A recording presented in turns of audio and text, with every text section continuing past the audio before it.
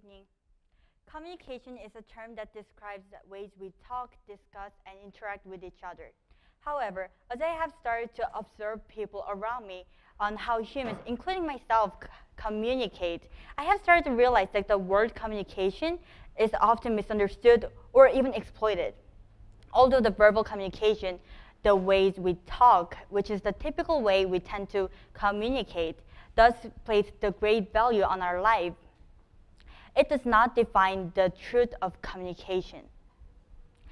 Um, no matter how we speak and what I speak and the ways we speak, it cannot define the truth of communication because the ways we communicate are just small branch of communication and it is not the big picture. At the heart of communication, I believe there should be the understanding of one's intention, for that will what lead you to the success of communication. One of the plays I have worked with is called Woman Lockerbie, play written by Deborah Brevoort. The play is about a married couple who lost their child from Lockerbie bombing. Lockerbie bombing was a serious terrorist attack that was real. Um, that the, Amer the American plane Pan Am 103 was bombed and crashed into the city of Lockerbie, Scotland. The play ends with a very significant scene where the local resident woman of Lockerbie and the mother who lost their child watch their remains of victims together and overcome the trauma. Well, the theater production is not really a usual way that you're going to encounter to communicate. However, the play really did spoke clearly to lots and lots of audience. The message was that if you have a trauma to overcome, you need to confront the trauma for itself. And if you have someone who shares the same trauma or someone who's going to walk you to that pathway, it's a lot easier for you to walk through that process of overcoming the trauma. And it is also for the audience and public to intention and responsibilities to aware to be aware of such issue and make voice out to the society. Just like this art piece, there are a lot of different artistic interpretations that's just thrown out there, and it is for the public's and viewers' interpretation to respond to that communication. One of the painting I want you to look at is this. Without any information about this painting, what do you see? Do you see just lines or shapes that are formed there? Or do you see like people, animals, some kind of creations mingling around?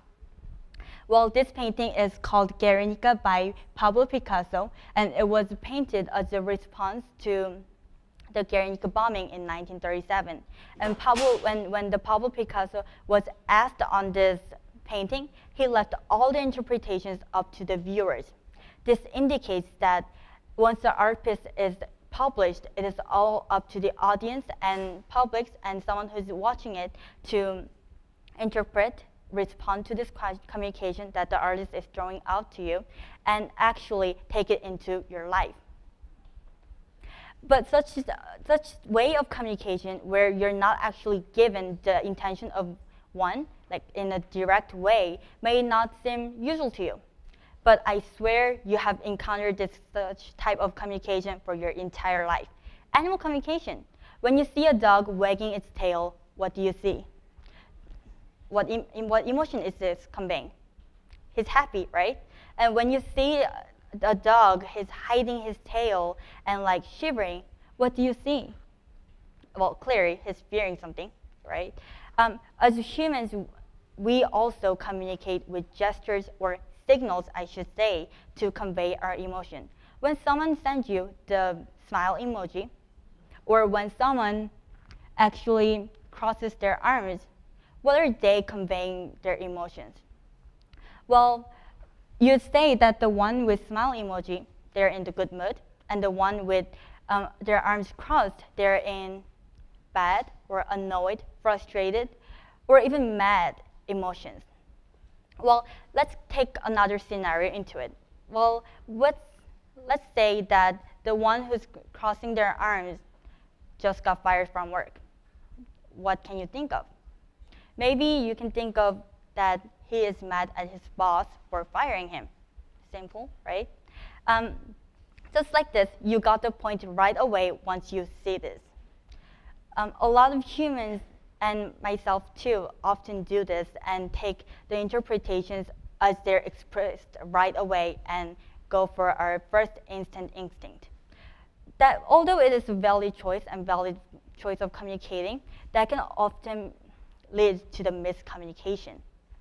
Another way that all that alters and contributes to our ways of thinking and communicating is the life that we have been living in. In other words, the language we speak, the culture we've been in, the environment we're in, or even a mood of that day affects us on how we think and how we communicate. Culture is the tradition, belief, tradition, belief, and attitude or behavior that is going through generations. And culture really, really affects our ways of talking and the language we speak. It affects our tone, voice, pitch, mood, and everything. I too experience that every single day in my daily life. I am a fluent Korean speaker, and I was grown up in the typical Korean culture. And as I have been speaking Korean to one and English to another, I have realized that my tone of speaking and the ways I approach of speaking differs. When I speak Korean, I tend to speak in more lower and monotone way because Koreans, I believe, they do not like to inter they do not li like to express their emotions more or talk a lot. In contrast, when Americans, um, I believe, this is something I observed, like to express their emotions or opinions a lot in more open way. So as a result, when I speak Korean, I speak more monotone, and when I speak English, I tend to speak in a higher pitch with little more exaggerated gestures or tone or voice.